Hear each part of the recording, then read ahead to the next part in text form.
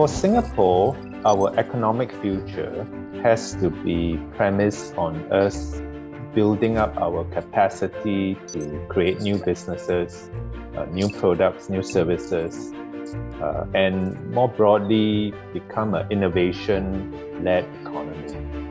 Uh, to achieve that, uh, R&D will be a critical pillar. Investing in research and innovation will enable Singapore to transcend all our fiscal limitations, our lack of natural resource, and indeed fully leverage on our very, very capable and talented uh, people to make ourselves relevant and useful in order for the world to want to pay attention to us.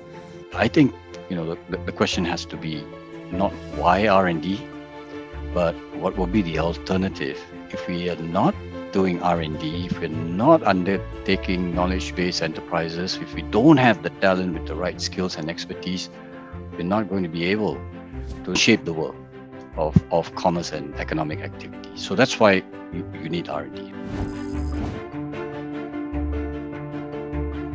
The reason why I decided to set up NSTB as 1989 is because as chairman of NSTB, I'm concerned we cannot continue to a high cost uh, city state just focusing on production. We must have intellectual property. That we must invest in research and development. We cannot just leave it to production. Helping to create jobs, helping to meet the aspiration of the younger generation, that's really one of the most important areas. And I think we then knew that we cannot continue to just do manufacturing. We have to move up the ladder.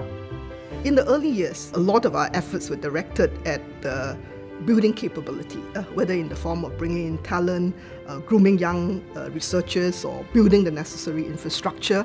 Then there was a time when we shifted gears towards translational research. In that phase, the economic focus of A-Star work uh, became more pronounced.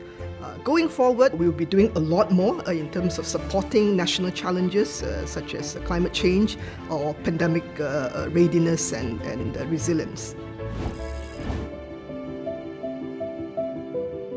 I think everything we do in A-Star, we try our best to impact the economy, uh, impact uh, society, to see what we can do to impact health, uh, to lift up the science and tech capabilities in public uh, agencies, and really to help our companies go from good to great.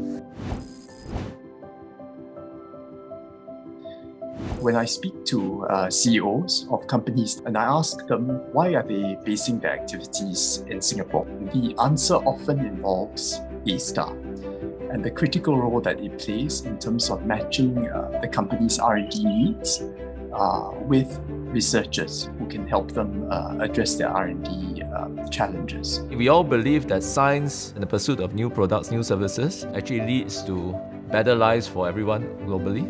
I think that's the role that A-Star uh, has been playing and should continue to play. Every time I hear some of these uh, research programs that we are embarking on and the kind of potential it has, I actually always think, wow, you know, actually if this succeeds, actually we can truly change the world.